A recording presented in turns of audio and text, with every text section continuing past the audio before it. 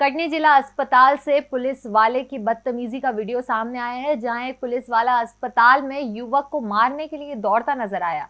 ये video social media पर जमकर वायरल हो रहा है। पुलिस वालों की जनता के साथ बदसलूकी की खबरें आए दिन देखने को मिलती हैं। पुलिस कर्मी द्वारा मारपीट करने का ये वीडियो सोशल मीडिया पे वायरल होते ही पुलिस कर्मियों ने चुप्पी साध ली। वहीं पीड़ित युवक तिलक सिंह ने बताया कि वो अपने परिचित महिला पूजा पटेल, जिनका एक्सीडेंट हो गया था, उनसे मिलने के लिए अस्पताल पहुँचा था।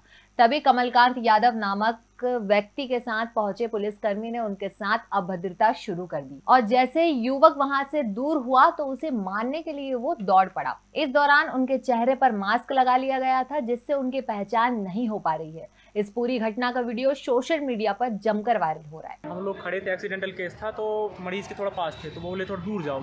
तो हम उस चक्कर में दूर आ गए। तो उसके बाद भी पता नहीं वो किस क्या प्रॉब्लम थी उसको।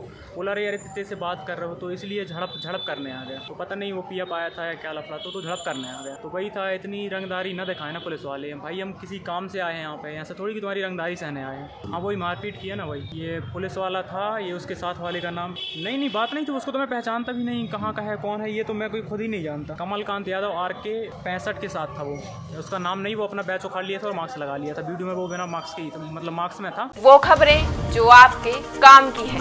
वो खबरें जो आपके लिए ज़रूरी है। हर आम और खास से जुड़े मसले। हर मसले का सटीक विश्लेषण। हम करते हैं सत्य का अन्वेषण। दखल न्यूज़। आपके हक में। आप देख रहे हैं दखल न्यूज़।